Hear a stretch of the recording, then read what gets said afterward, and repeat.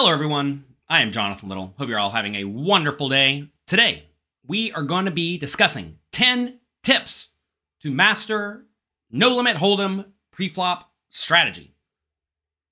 You may ask, why discuss preflop? Isn't that easy? Well, it turns out it's not. A lot of people mess it up. If you want to crush 1 2 live no limit hold'em or small stakes tournaments, you must play fundamentally sound preflop strategies, or at least be aware of them. If you do not have a solid game plan for preflop play, you are going to leak money every single time you play because you have to make a decision before the flop every single hand you are dealt in.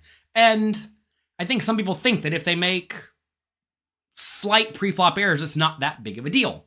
And to be fair, it doesn't actually cost you all that much money on each individual hand. But if you consistently make even small errors very frequently, those add up to become very, very big leaks. And if you have very big leaks in your game, you're not going to win, even at the small stakes.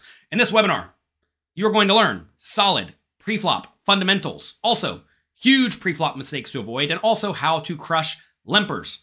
Is this geared to tournaments or cash games? Both you have to play before the flop in both tournaments and cash games. It is vitally important. I know a lot of people in cash games play loosey goosey. They're eating sandwiches all the time.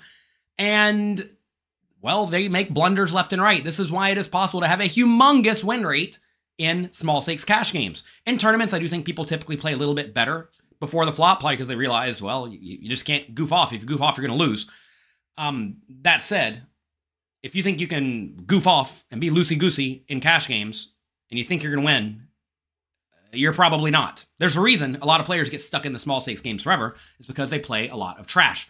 Tip number one is to make sure that you think in terms of ranges. It's vitally important that you think in terms of ranges. What is this here? Look at that. Something's wrong with my chat box. There we go.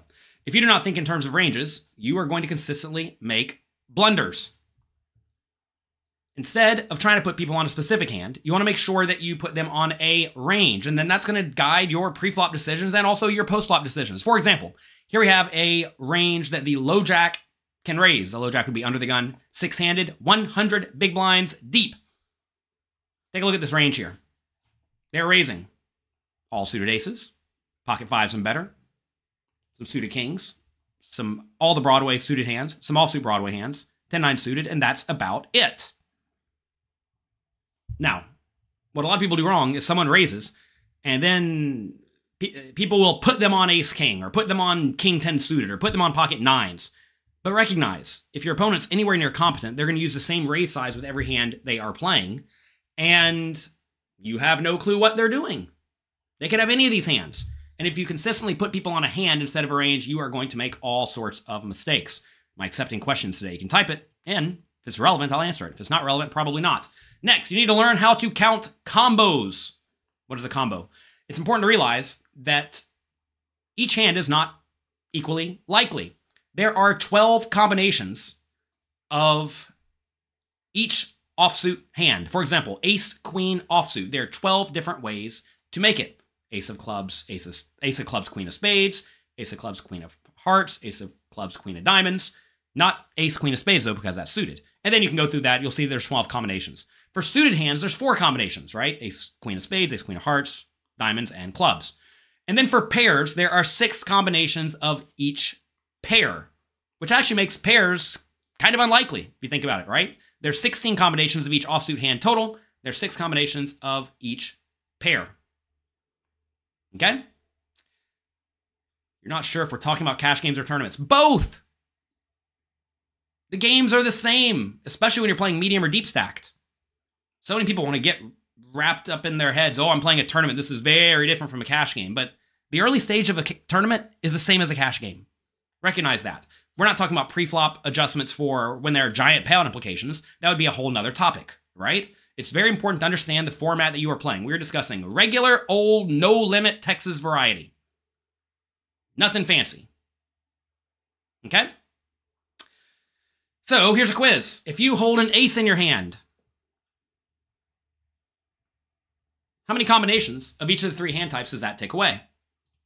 Look at this sentence. If you only how many? That takes away, yeah, that takes away how many combinations of each of the above hand types. Take a second, think about it.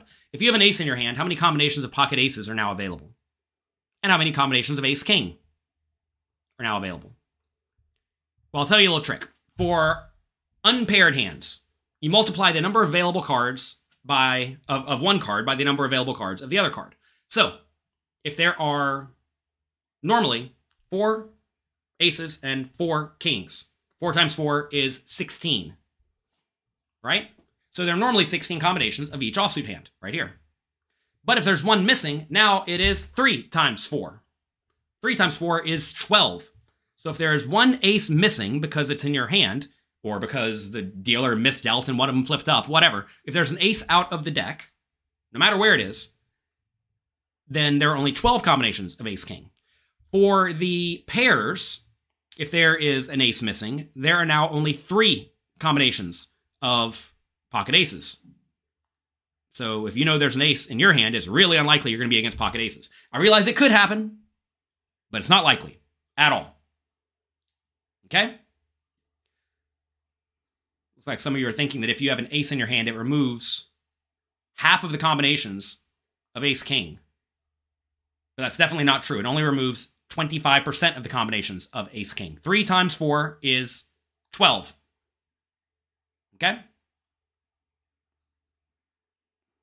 All right, next. Start with GTO ranges. I cannot make this any more clear. Exploits are very important, especially in the small stakes games, but you must start with fundamentally sound, game theory optimal preflop ranges. You cannot do things like limp in with the 8-5 suited and claim it's exploitable or exploitative, you're trying to take advantage of your opponents. If you do that, you are going to lose. Is this pre-recorded? No. I'm literally standing in my home right now talking to all of you live. It probably is on like a three second delay because internet, am I right? But look, people in cash games make all sorts of blunders and in tournaments. And the problem a lot of people run into is that they think that their opponents are playing reasonably, and then they copy the strategies of their opponents. And that is a mistake. Put a shoe on the head if it's live. I don't have a shoe. I'll put uh, these these new these new headphones. I'll put these new headphones on my head if it's live. There we go. We doing it? So let's take a look at some GTO preflop ranges. Here we have one, two, no limit hold'em cash game ranges. Then the low jack. Under the gun, six-handed. Notice what you should raise. We already showed you this chart. Recognize what you're not playing. You're not playing 8-5 suited, ace-8 offsuit, queen-9 offsuit, jack-4 offsuit, 7-2 offsuit, 10-2 offsuit, jack-3 suited, 6-2 suited. None of these hands are playing. All the hands in blue are folding. And you may say, but my opponents can play those hands. Why can't I? Well, look, you can do whatever you want if you don't care about money. But your opponents are losing if they are playing and stuck in small stakes games. And I don't want you to be stuck in small stakes games. I want you to win. And in order to win at poker, you have to have a little bit of discipline. Okay? Now, look, if you wanted to raise a little bit wider than this with stuff like 9 8, 8 7, 7 6, 6 5, 5s, 4s, 3s, 2s, etc., if you wanted to raise those hands, I don't think it's that big of a deal and that'll be fine. Especially if, well, ask yourself this first. When would you want to raise wider? When would you want to raise wider in the low jack seat? Well, you would want to raise wider in the low jack seat when the players yet to act are going to be too tight in general, and when you're not going to get three bet, re raised very often at all, right? If you can get re raised a lot, you certainly can't raise wider because you have to fold all the hands that you'd be raising that are on the wider end, right? But if players are going to be a little bit too tight and not three bet quite enough, then you can raise a little bit wider. So maybe all king five suited and better, jack nine suited, queen nine suited, nine eight eight seven seven six six five five four fives fours, maybe threes and twos all king jack, all ace 10. Not that many more offsuit hands. You're going to find that 100 big blinds deep in a cash game, offsuit hands are bad. They're bad, bad, bad. A lot of people think queen jack is amazing and king 10 is amazing. Nope, not at all. Now, from the button, we're raising 40% of hands in a cash game. This may be tighter than a lot of people are used to. But, again, it's what you got to do. A lot of people think that you can raise very, very wide on the button 60% of hands, 80% of hands. And to be fair, you can raise wider if the blinds are, again, not going to call enough and not going to three bet enough, or call and then play really weakly post flop. But if they're going to play anywhere near well, you can't get too out of line. Aren't these ranges extremely tight rake wise? Yes, these charts presume there is a rake. And when there's a rake, you have to be tight. As the rake gets bigger, you have to be tighter. This presumes a normal-ish rake. If you're playing a game with a humongous rake, you have to be even tighter than this. If you're playing a game with no rake and an ante in play, like a tournament, then you get to play wider. All right?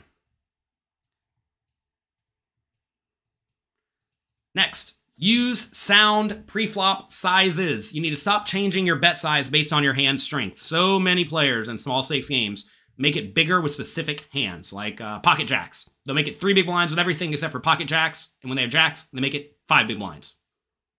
That used to be something people did all the time, and even medium and high stakes tournaments. They were super fish. They got crushed. And, uh, well, you can't be doing that. so, here I have a chart. I'm not going to necessarily read through this whole thing, but essentially, as stacks get shallower, you raise to a smaller amount. This is why you see tournament players very often raising to two big blinds when they have, you know, 40 or 60 big blinds, right? You want to be using small pre-flop raise sizes in general. However, if a bet would put in something like 30-ish percent of your stack or more, you're usually going to want to go all in. All right? Notice here, we have fewer than 12 big blinds that say just to go all in pre-flop. That is not actually accurate. Uh, there are plenty of spots where you do want to min raise if you want to open, but for simplicity, you can probably just go all in. That said, we have a pre-flop app on pokercoaching.com and in our um, in our on our website. My brain's broke. I'm trying to reach out over here. And uh, you'll you can find good solid GTO pre-flop plays for 12 big blinds or shorter, and you should have some min raises. All right. Is this based on the effective stack or the lowest stack in play? It's well, so look, you have to rely. So what is the effective stack? The effective stack is the stack that you are playing based on the players in the pot. But say you have 100 big blinds and so does everyone else, but one player has 12. You can't just go all in for 100. That'd be ridiculous, right? So you have to adjust to the stacks that are likely to be involved. And yeah, you probably should be using smaller raise sizes to like two big blinds, but you shouldn't just be ripping it in for 100. Right? Next. Number five, three bet with a polarized range from in position. What is a polarized range? A polarized range is comprised of your best hands as well as some hands that are okay, but not quite good enough to call, or perhaps barely good enough to call. And then you're going to call with all the stuff in between. For example, here's a reasonable polarized range. Let's say someone raises and you're on the button. You would three bet with something like jacks and better, ace queen suited and better, and ace king straight up for value. You're three betting these, planning to get all your money in. Next, you're also going to three bet these hands in blue as bluffs slash thinnish value bets. So we see ace 9, king 10, queen jack, offsuit. These are not great hands. They're barely playable. We would be three betting this. Over here, with suited hands, you're going to find that you often like to three bet some suited aces, some suited kings, and some suited connected type hands. And you're going to find before the flop, when you're playing medium or deep stacked, at most you can have something like two pre-flop quote unquote bluffs for every one value hand. So you see here, uh, we have 25 to 13. That's about a two to one ratio. You're going to find that's usually very good when you are playing medium or deep stacked. Over here for these sizes, can we explain this a little bit? When everyone folds to you, say we have 22 big blinds, you're going to make it 2.25 big blinds before the flop if everyone folds to you. When there's one limper, you're going to make it about four big blinds.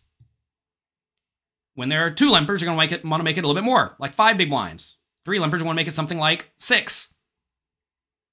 When you're facing a raise, you're going to want to make it 2.7 times the initial raise. So if they make it two big blinds, you'll make it something like 5.5 big blinds in position, something like 6.5 from out of position.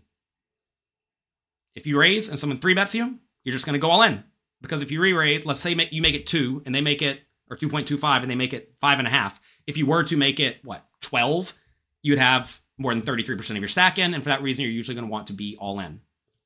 All right. Anyway, here we are. Polarized ranges from in position. You're going to find this is very, very standard when you're playing medium or deep stacked.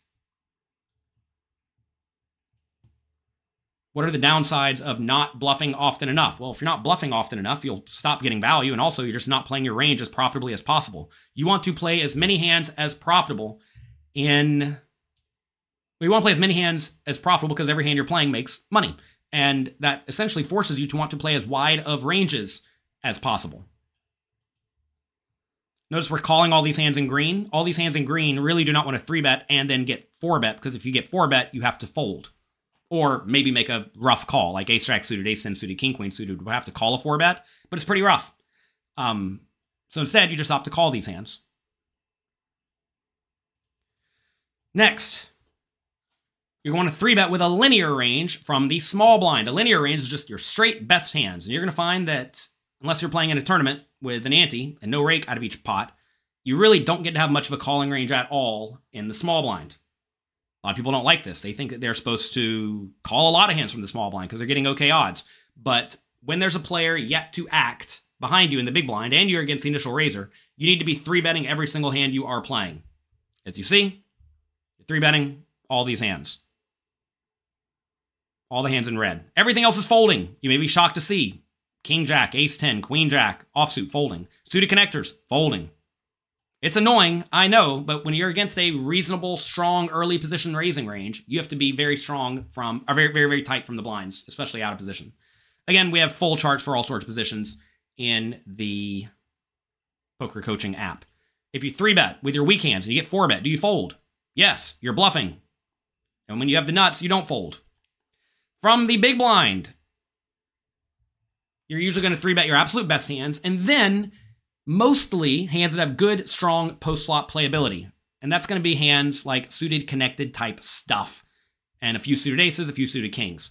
But a lot of people do not three bet these hands like Jack 10 suited, 9 8 suited, 6 5 suited, 10 8 suited, etc. They just call all those, and that's a mistake. Also, a lot of people call too wide against raises from the big blind. They think, all right, I'm closing the action. I should call with all sorts of stuff. And you should, but not 10 4 offsuit and 7 3 offsuit, stuff like that. Those are pretty bad. If you also wanted to call a little bit tighter with these offsuit hands, I don't think it's that big of a deal. Like if you wanted to fold out 4 3, 5 3, 7 5, 10 6, Queen 3, Queen 4, that's fine. I think it's fine to fold some of the offsuit stuff. But facing a min raise, you do want to be calling with lots of suited hands, especially in tournaments with no rake. Why ace 4 and not ace 5? Recognize this chart here is what I refer to as an implementable chart. The GTO chart will be using mixed frequencies. It's probably three betting ace 5, ace 4, ace 3, etc., some small portion of the time. But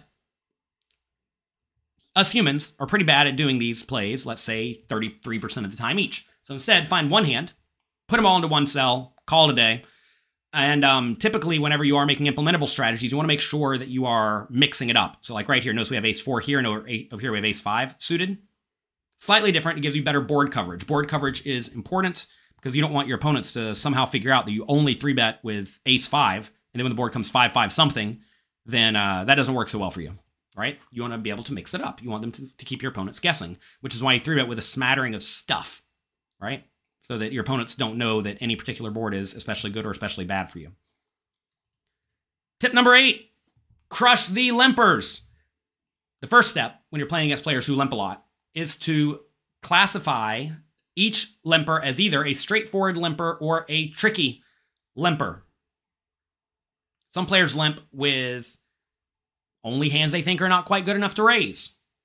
For example, a lot of players will raise all these hands here in red and then they'll limp all the hands in blue, or something like this, to where their limping range is relatively weak. Some players raise almost everything they're going to play except for some absolute trash that they limp in with, and that makes their range especially weak. Okay? Tricky limpers, however, will limp with stuff like aces, kings, queens, and ace king, as well as some trash, you know, maybe, maybe, maybe not with some trash, looking to limp and then re raise you. If a limper is tricky, you have to be way more cautious raising them, especially for thinnish value, because you don't really want to raise a hand like ace jack suited and then get limp re-raise. It's a bit of a disaster. So you might want to limp behind against those players a little bit more often. The way to crush limpers in general, though, is to raise wide for value. And then also limp behind when you're in position on the button with hands that flop well enough. So again, take a look at this chart, right? Against limpers, you may want to raise with all these hands in red, just straight up for value, and limp behind with these hands in blue that flop very, very well. Okay? Who made these implementable charts? Me.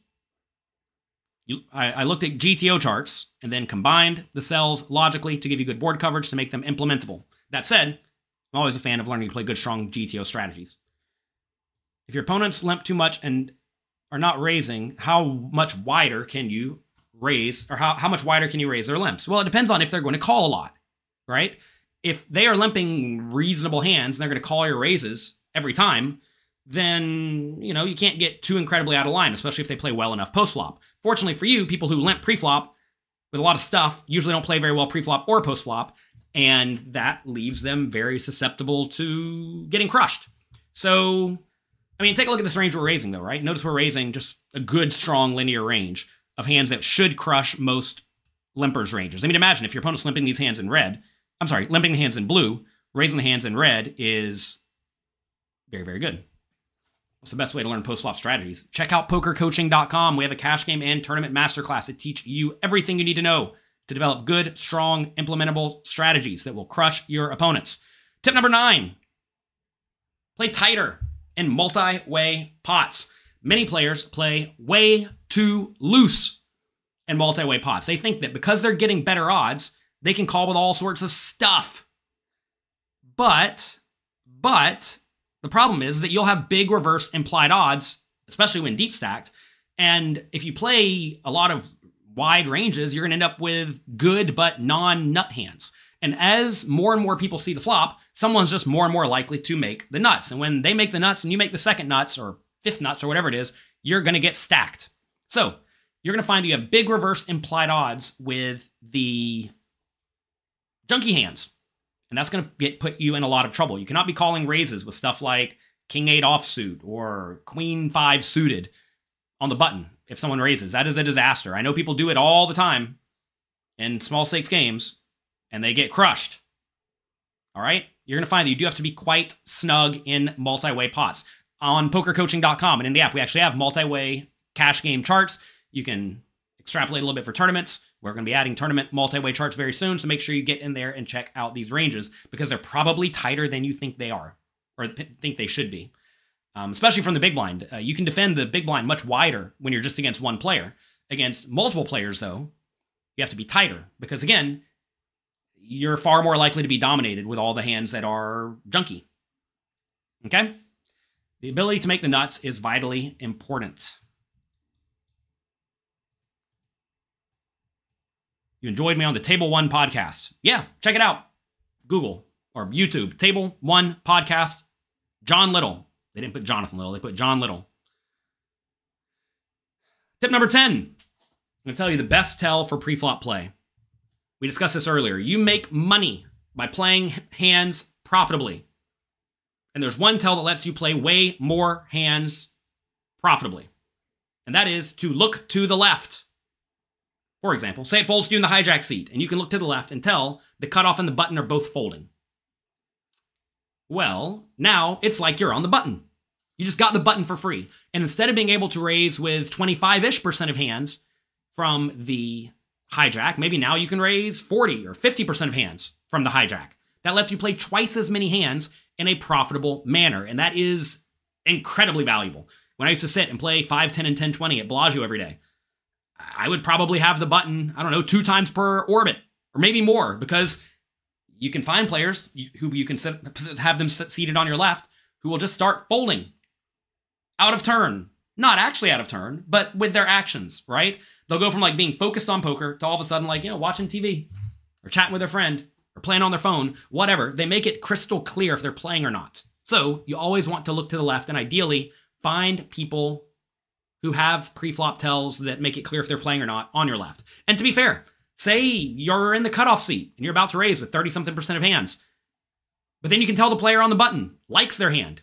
They go from sitting there and not focusing to all of a sudden they're like, whoop, we're playing. Well, now you should be raising a whole lot tighter from the cutoff because you're going to get played with and you're going to be out of position, right? It's not where you want to be. So make sure you look to the left. Those are my pre-flop tips. Stay here though, because I have a gift for you. Let's recap these 10 pre-flop tips. Number one, think in terms of hand ranges. Do not put people on a specific hand. Number two, make sure you're counting pre-flop combinations and understand how having a card in your hand removes combinations of potential hands from your opponent's ranges. Number three, start with GTO pre-flop ranges. Again, so many people think they can do whatever they want before the flop because how bad could it be? Or they think they're going to outplay their opponents or whatever unless you have a good reason to be adjusting, don't. Number four, use sound preflop raise sizes. Number five, three bet with a polarized range from in position, a linear range from the small blind, and then optimal ranges, which are the best hands plus some suited connected type stuff from the big blind. Number eight, make a point to crush the limpers. Limpers and small stakes games will give you tons of money.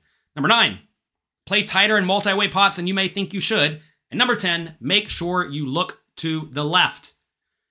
How do you adapt to players on your left who call very, very often? Do we tighten or widen our range? You don't really want to get called by players on your left. That said, if they're calling with junk, just play normal-ish ranges. Um, perhaps you want to fold out the bottom portion of your range if you know you're going to be getting called a lot.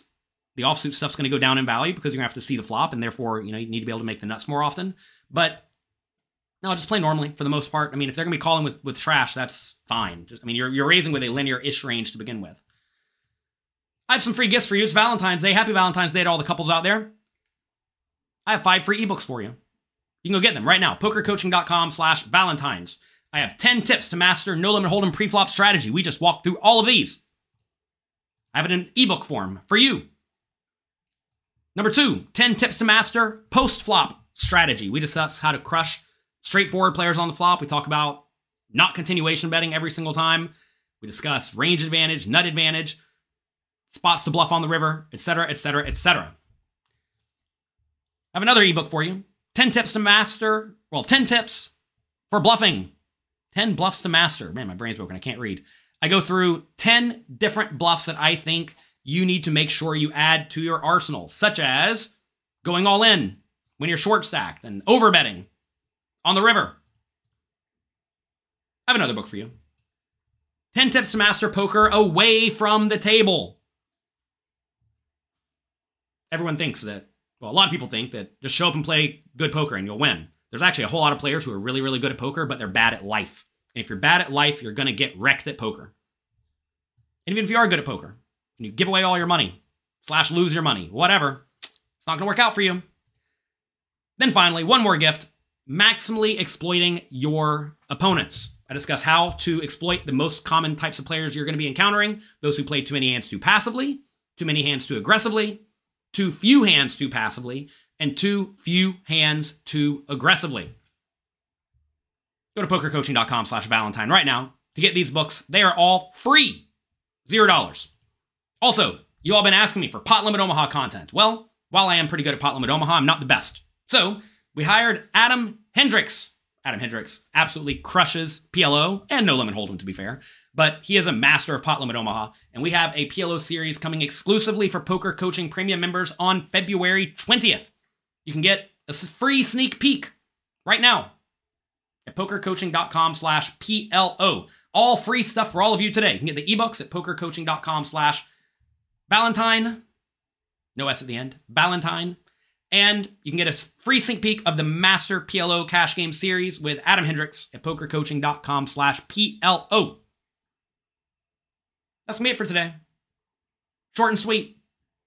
Enjoy your day. Make the most of your opportunities. I wish you all the best luck. I hope you all have a wonderful Valentine's Day.